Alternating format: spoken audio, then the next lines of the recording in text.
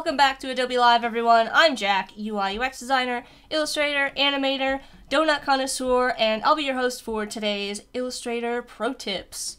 Uh, we're gonna get started working with uh, opacity masks here in Adobe Illustrator. I'm gonna show you different ways you can utilize them. If you're just getting started, I know masking in Illustrator can get complex and uh, a bit confusing. If you're an advanced user, uh, maybe looking to expand your toolkit, I use opacity masks all the time uh, to get softer transition and edges using masks. Before we get into it, don't forget that right after the stream, in about 30 minutes, you can join me in the Illustrator Discord in the Pro Tips After Party voice channel. You can chat with me directly. You can uh, ask questions about anything we go over on the stream, ask me questions about Illustrator, um, chat about opacity masks. Uh, I'll see you over there, hopefully. Okay, so Today we already have a few things uh, started just so we can focus on masks and different ways to use them.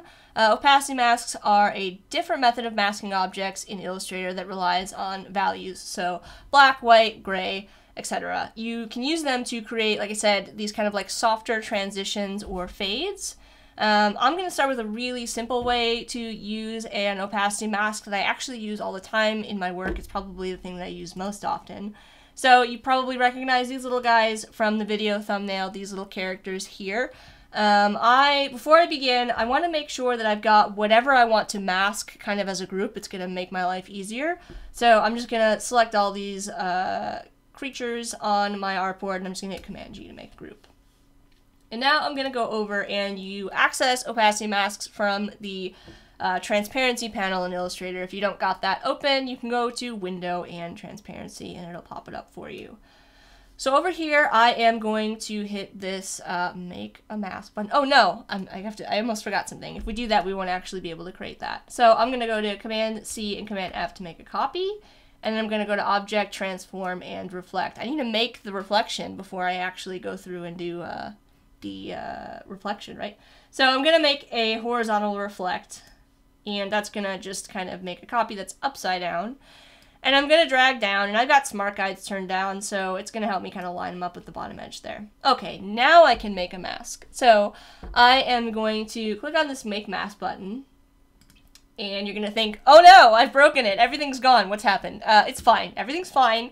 Um, opacity masks are like uh, alpha masks in that anything that's black is going to be hidden and anything that's white is going to be visible. So black conceals and white reveals, sort of a common saying.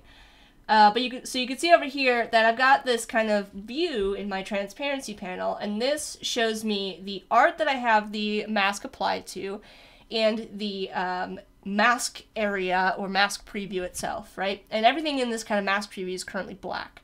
So I'm going to click into this masking area here, and that's going to take me into this special kind of view. It's kind of like a weird isolation mode just for making masks. So when I'm in this view, you can see my layers window. All of my other layers are gone because I just have this kind of separate layers panel for my mask objects. And I'm also, um, this area over here is now highlighted. And then when I'm in here, I can't actually interact with my artwork, right? All I, I can only make objects for a mask. This is just for masking. Um, so I am going to start by creating a fill. So I'm just going to grab a rectangle and I'm going to drag out a fill. And because I've got a white fill on this, um, as I drag it out, it's going to reveal my artwork again. So my artwork is back. Yay, we're not, it's not broken, right? I don't need a stroke on this, so I'm just going to get rid of it. So you can actually use colors in this as well. You can use any of the tools you would normally in Illustrator, uh, but it's only going to affect the mask. So anything that you do in this space is going to change the mask. So if we use color in this, so if I just drag out another shape here, and I make this like a red, um, it's not actually taking into account the color, it's only taking into account the value. So whatever value this color red is, it's going to make that that level of transparency in our mask. So it's only working with black and white and gray. You can work with gray values, and what that's going to do is it's going to add a little bit of transparency. So if we work with like a 50% gray, that's going to make our object like 50% transparent or opaque in our design. All right, so I'm going to just delete that shape. So uh, to make kind of a reflection of these characters, we got them copied and flipped down. I'm going to go over to my gradient panel, and I'm going to apply a black to white gradient. So when I do that, you're going to see already it's going to change the way this looks. It's going to add some transparency to it. Uh, a little bit of a pro tip here. Um, I find that sometimes the uh, regular key black or 100% K black doesn't actually give me uh, true 0% opacity. So what I like to do is just double click on the color stop down here whenever I use a black to white uh, transition in my gradients. And I just like to switch it to this black. And you can see a little bit of a shift when I do that. That changes it to be 100% um, transparent versus being, uh, it's, it's like uh, not quite there. Okay, so we've got that set up the way that we want it to. We need to change our um, angle of our gradient now. You can see in our preview here, or up here in our transparency panel, it's going left to right. And that's not really what we want. We want to go over to our, our um, gradient panel here. I'm going to change this to 90 so that it goes kind of top to bottom. So now you can see that I've got this nice kind of fade off and 100%. But we actually need this to go the opposite way for our reflection. So I'm going to go up here and we're going to tap this button that says reverse gradient and it's going to flip it for us. So that's looking pretty good. Now we've got kind of like this reflected look with the fall off happening here. Um, I'm going to make a couple of tweaks uh, that are just kind of a personal preference. Um, I don't like to have such strong high contrast in my reflection. I like to kind of soften it so that it's not competing with my illustration um, and give it kind of like a more natural look. So I'm going to go into our color stop and where white is, because white is 100% um, visual, 100% opaque, um, I'm going to double click and I'm going to drop this down to something like 30 or 40 probably for my um, grays. So I can just pick from this kind of like gray, pre-loaded gray swatches here. I'm just going to pick like, uh, we'll go with like 40. If we pick like 40% gray, that's actually going to translate to like 70%, 60 or 70, 70% um, transparent. So if we go up to our, it would be the equivalent of changing your opacity to 70%. So like you can kind of start to map like, okay, 50% is going to be 50% transparent, 40% is going to be uh, whatever I said, uh, 70% or something like that. So we can kind of adjust those gray values to get the look that we want. And then for the last kind of thing here, I'm just going to drag up this box, scaling it vertically, and that's to shorten the fall off on my reflection. So now I've got a reflection that kind of ends, um, you know, naturally um, as it gets farther away from my illustration. And it's not really competing with my illustration. It looks like a very natural kind of reflection on a, on a surface or something. So it kind of helps ground my illustration in the space, right? I feel like these characters are like sitting on a surface without actually adding any fills. However, if we wanted to add fills, we can go um, back up to our uh, transparency panel over here. And currently we're in that, ma that mask editing mode. We want to click back over on the left side to get into illustration mode. So when I click on that, immediately all of my layers are back here for my artwork and I can kind of move things around again if I want to and I can adjust things and I can edit my illustrations. Now, um, the mask itself in this case, if we take a look at our layers stack here, you can see that we've got this layer down here now that's got like that dotted line. Um, that indicates that I've got a mask applied to this shape. Uh, uh, um, let me zoom in here. That dotted line shows me in my layer stack that I've got an opacity mask. Um, it only affects the thing that it is applied to. So in this case, it's applied to a group. So it's affecting everything in that group. Um, it's not going to affect this illustration because this illustration isn't a part of that group, if that makes sense. So you can apply a transparent or an opacity mask to a layer, an object, a group. Um, just keep in mind that whatever you apply it to, like if you apply it to that group, it's not going to affect any other part of the illustration. So now we're back out here and we can actually start to add, let's say we want to make this look like it's sitting on water, right? Uh, so we can start to add some more elements to our background and because it's a transparency mask, or an opacity mask, I don't know why you keep calling it that, um, we can we can make changes to this um, kind of like on the fly and we can we don't have to worry about going in and making any adjustments to the mask itself we don't have to do any weird things with like color gradient overlays or anything like that um, i'm just going to put a fill color down here i'm going to go to object or right click um, arrange and send to back and now you can see that I've got this kind of color back there. We can change it to literally any color that we want from, you know, our colors over here. Um, if we wanted this to kind of look like it's sitting on like water, like it's ref- a reflection over like a lake or something, I can select a fill color here. Um, we'll add it, we'll bring it down into a gradient. Remove the black color stop. We'll grab a darker blue.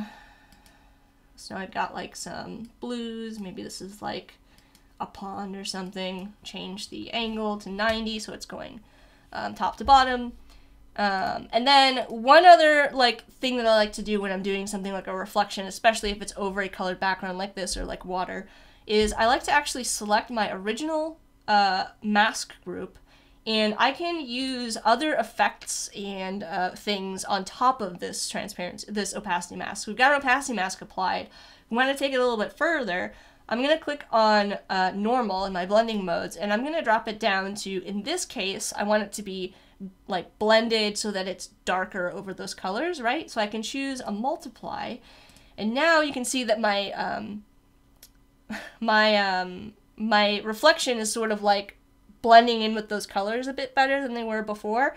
Um, and it starts to really start you can start to like experiment with like adding different effects and adding blending modes and um, changing you know we could change this background to be a pattern if we wanted to and it wouldn't make a difference it would behave just the same way you know with that reflection coming through if we wanted to do something like that okay so now we've got the basics let's take a look at something that's a little bit more complex so another common case for this is for fading the edges off of an illustration. So let's say we have this really creepy cat illustration this time with these kind of crinkle leaves in the background, very fall. Uh, these leaves are really strong, and I want them to sort of fade into the backgrounds, set back from the cat, so the cat is our focal point, right? So I'm going to select my whole group here. Again, my group that I want to mask and my cat are two separate groups so that I can kind of visually identify what I want to mask and, and like make sure that I've got the right thing selected, right? So I'm going to go back over to my transparency window. I'm going to hit make mask. Everything's going to disappear for a moment. It's fine. And we're going to click on that um, mask editing mode over there. And my original shape is a circle, so I'm going to grab, instead of a rectangle this time, we'll grab an ellipse I've got smart guides on, so I'm going to align to the center. Holding down Shift and Alt will drag out a shape. Because I've already got that blue gradient that I made before, it is having a bit of an effect on that. You can see there's a little bit of a fade, again, taking in the values from the color and making them have transparency. In this case, though, um, I'm going to go to another black to white gradient. So I'm just going to go over here, change it back to that and make sure that I change it to my rich black.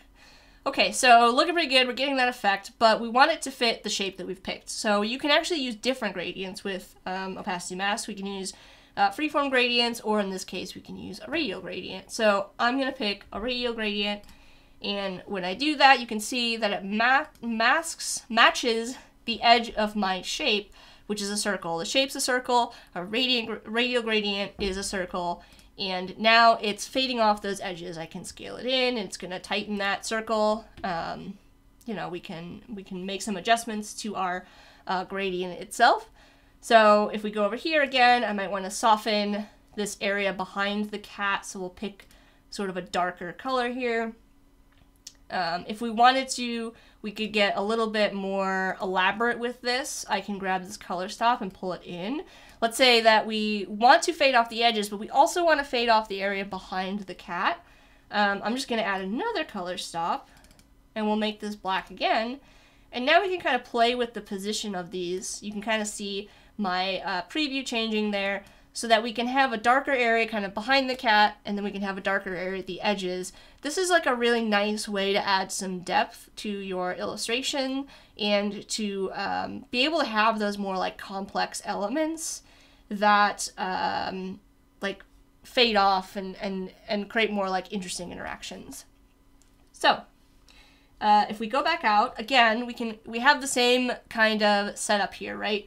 If I select this background and I want to change the color, I want to change this to a pattern, um, I can just literally select any one of these and it's going to change. And I don't have to do anything fancy, right? I don't have to, I didn't have to create like a radial gradient of the color and then change the color of the outside gradient. You know, all those hacks that we tend to do when we're trying to do this kind of stuff.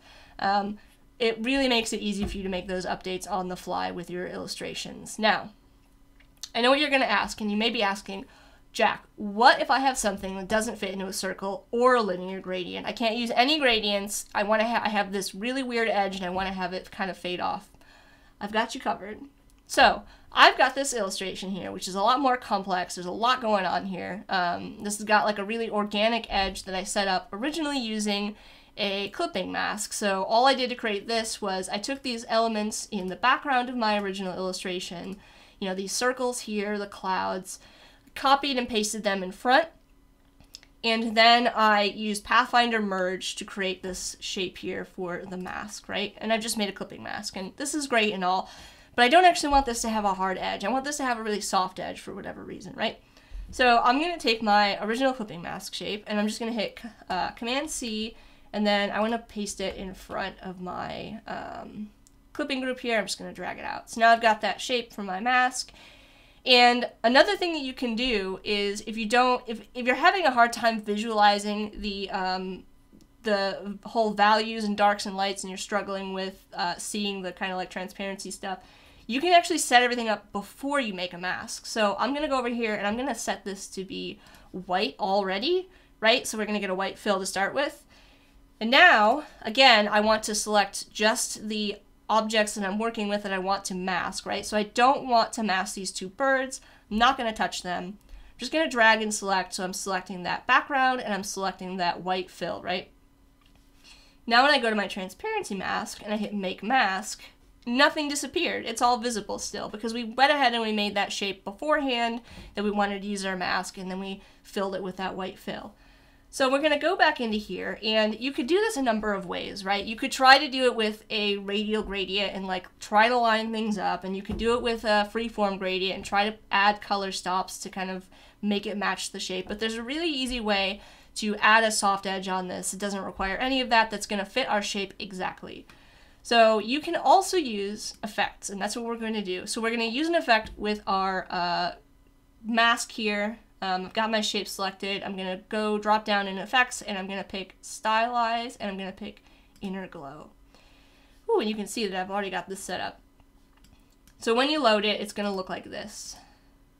I was, playing around with it before. So when you load it up, it's going to look something like this. You're going to have screen is the default uh, mode selected for inner glow, opacity, blur. This is what you're going to look like. We want to make sure that when we're doing this, we're going to change that default screen blending mode to normal. That normal is going to give us just the color. It's not going to apply any blending modes. Um, it's set to screen because the effect inner glow is meant to kind of be um, like a glow. So it, the the lighten blending mode in this case screen screen is what's selected. But I don't want to lighten in this case. I just want 100% of my color, my value black in this case. So I'm going to pick normal. I'm going to click on the color uh, picker and I'm going to drag to 100% uh, black, rich black in this case, and I'm going to hit OK. And you can already see that we've got a little bit of uh, an edge going on here just from changing that uh, color. And then I want to change, again, the default is set to 75. I want it to be 100%. Type in 100%. And now we've got our edge kind of set up. I'm just going to either tap or type in the value um, to increase the softness on that edge until I'm satisfied with the way that it looks. We can, you know, type something in. 100, 200 if you really wanted to go crazy, right? So we've got that kind of set up there. Um, and when we hit OK, this is going to match the edge of our illustration perfectly. If we click back out into the uh, editing, you know, outside of the mask editing mode. Again, we can add a background to this if we want to. Arrange, send it back. You know, picking our color swatches, picking a pattern, whatever you want to do, it's always going to keep that soft edge. Um, so you've got an, uh, a whole illustration. You want to, instead of trying to like add a feather, different feather effects to all of these individual objects and all of that, you can just use an opacity mask to handle the entire illustration all at once and fade off that edge. Um, now, let's say that we have set up our opacity mask and then we realize like, oh, I want to add another piece to this illustration or I'm not done with it, right? And we want to make some edits. So you can add or remove things from an opacity mask, just kind of looking at our layers panel here, right? Again, we've got that uh, underline there to indicate that we've got an opacity mask on that. So anything that we put inside of that group is going to be added to the mask. Um, if you put this on a layer, it's going to affect the whole layer. So I'm going to zoom in here. And we'll say we want to add some, we'll add like, uh, we'll do like a little sun or something in the sky. Right, so I'll drag out a sun. Uh, I'm going to apply a swatch to it. Let's go with yellow. Um, we'll do something like color, double click. We'll do like 25, copy and paste, scale it down, 50, just kind of matching the style of this illustration, right? So now we've got a nice little sun or something. All right, I'm gonna group all of these and I can just take this sun and I want to add it to my group, I can just drag it in there. Actually, I think that's the robot group. There we go. Name your layers. All right, so I'm going to drag it into my um, group here that's got that effect applied, and now I've been able to add something to that illustration. You can pull things out as well. Let's say we don't want this in. I'm just going to grab this, pull it out of my group. Now that is kind of like not in the group, and this is in, so you can make some adjustments to what's inside and outside of the um, clipping or the opacity mask. If you accidentally put those birds in there, you could pull them out um, above the uh, out of the mask, whatever, or we could add them in very easily, just like that. And if you don't like this mask, let's say we don't like this at all, um, and we don't want to use it anymore, all you have to do is go over to our transparency window and hit release and when you do that, it's going to get rid of our mask, and you can see that all of our artwork is back to the way it was before. It's a very non-destructive way of working, so you don't have to make any, um, you know, I'm not like cutting things up or anything in my illustration. I'm using the, the values to mask my illustration. Okay, so um, I think we have time for maybe one more thing. And if we don't finish this, uh, be sure to join us in the Discord, the Illustrator Discord after this stream um, where we'll kind of wrap it up whatever we don't finish. So I'm going to drag out another rectangle this time, and I'm going to go pretty fast with this one, and we're going to pick a yellow. And we're going to add something to this illustration. I'm going to grab uh, a brush here. I've got a sprinkle brush. There we go. Pick another color. And I'm just going to draw out some sprinkles. Oh, I don't think I actually picked it. Hold on. Oh, you know what? I've made a mistake. Did I? No, I didn't. Okay. Oh, I didn't pick a color. There we go. All right, now we can see it. All right, so we'll just add some sprinkles in here. We can add some different colors if we wanted to get fancy with it. So there we go. Whole bunch of sprinkles. All right, so I've got this set up. I'm going to go in and I'm going to select all of this and Command G to group it, and I'm going to make a mask. So now I've made a mask. Everything's hidden again, right? So I'm going to go and I'm going to grab my type tool and I'm uh, inside of my mask editing, I'm going to just click and make some type. You can see that because my type is black, nothing is showing up. So I'm going to go over here and I'm going to make that a white fill to make it visible. Now when I scale it up, you can already start to see the magic happening, right? We can see the um, design coming through there. I'm going to pick a color that is easier to see, or a font that is easier to see. Let's pick something heavy. This is good. And now I can type things out. I can say like donut, scale it up. Um, and the beauty of this, so you um, you may have done this technique before using a clipping mask, right? Where you type out some text, then you expand the text, you make um, you go to like type, um, create outlines, right? And then you have to make that, use you use that as a clipping mask on your texture, right? But if you use this method, so we're gonna go out, right, and we can like move this around our text, right? Everything it just behaves like it normally would. If we put something behind it, it's gonna be, uh, you know, visible. Um, but it keeps our text editable. So if we're not sure what the copy we want to have here is or whatever, we need to make some adjustments. I don't have to make a whole new clipping mask. I don't need to make a whole new, you know, reset the type, re-expand it, remember what font I used and all of that stuff. I can keep it all live by keeping a using an opacity mask and I can just go in here and I can type out. Let's say I want to add party to this. So we've got donut party now.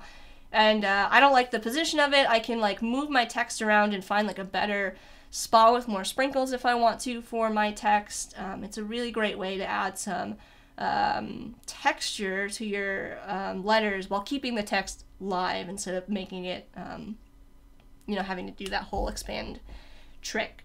And just like we did before with our effects, we can also add an effect to this and still have the text be live. So we can go up here and we can go to effect, we can go to stylize, we can go to inner glow, and it's got my parameters set up just like I had before, but we'll drop it down to something smaller and we could use like a center if we wanted to add like a center blur or something to add some depth to our letters. Okay, I think that's going to be it though for now. Um, so be sure to uh, join us in the Discord right after this stream for um, to go over some more techniques. Um, today we went over um, different ways to use opacity masks in uh, Adobe Illustrator for this pro tips. Um, come on over to the Illustrator Discord to continue the party. Again, it's in the pro tips after party voice channel now, as in right now. come chat, ask questions, share your work with opacity masks, or just say hi. Uh, there's a text chat as well if you don't want to speak out loud. Um, we've also got uh, more live content here on Adobe Live, and I will hopefully see you all in the Discord. So, bye everyone.